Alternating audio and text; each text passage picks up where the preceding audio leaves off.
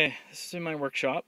Um, what I have done is the two poly uh, crystalline cells are hooked up to this Morningstar, another one of my little finds on eBay, and uh, it's just a it's a PWM charger, but basically someone had put it on eBay and they didn't really give it a lot of listing, and I picked it up for about $65, which is just fantastic when you think of how much a lot of these things count. This thing is just wonderful. It does a bunch of things, but right now it's just it's just used for charging.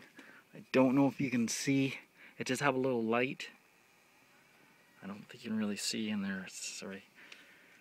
But it's great. So anyway, there's my cables. Goes in the side.